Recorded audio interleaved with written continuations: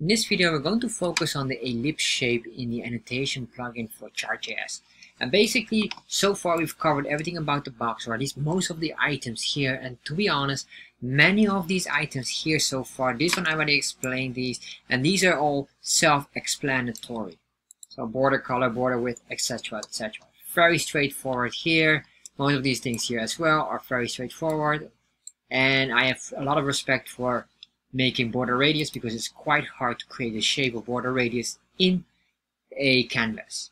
However, alright, so let's focus now on the ellipse. And the ellipse is basically, if you understand everything what I discussed in the box annotation, you probably will understand quickly here. So let's go here, and then here we have basically the same, but then instead of the type of uh, box, basically here, let's scroll down here in our code, we have here the type which is the box, we will just convert it into ellipse. And when the moment we do this, you will see here, we refresh, it would change it into a oval shape. An ellipse is not a circle, it's basically an oval shape. Which look like a, almost like an X shape.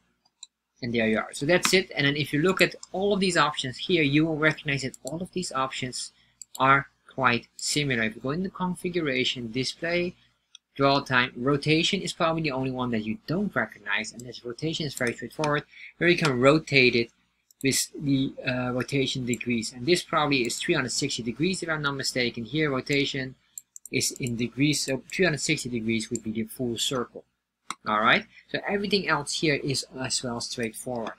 Another one here is the point annotation. And the point annotation is basically a circle, where you make a circle, and this one has a few different items here. So first of all, let's convert this now into a point.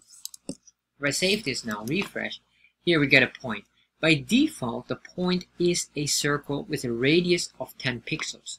And it grabs the x and y value that we have indicated here. However, the point does work with a certain other value here. It's, it has like a coordination.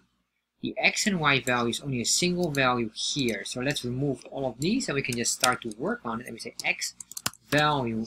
And the x value here is number one. Or if we ever would have, we could select here what we want to pinpoint. Imagine we want to go on here.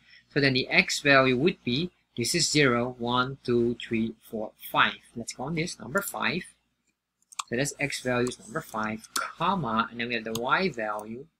And the y value would be the value here. So if you want to put it in, well, where exactly, let's say we put it on 40, what they would be here in the center.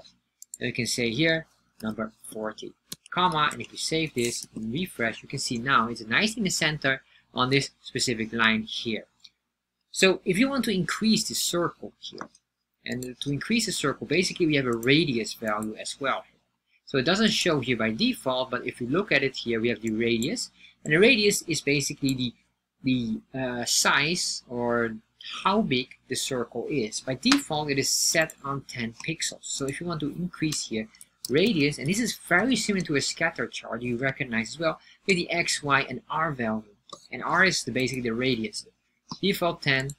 Well, let's make this uh, 50 and see how this will look like. Comma here, make sure you have a comma there.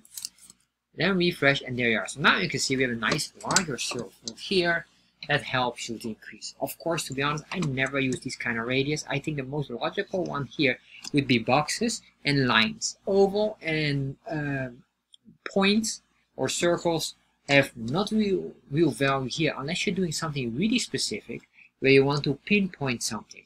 So that might be, of course it depends on your personal preferences. So alright, so these are the most important ones. Do we have anything else here that you should know? Well, everything else we probably covered here. In the next video, I will focus on the line annotation because the line annotation eventually is the most important one, where we can include lines with text.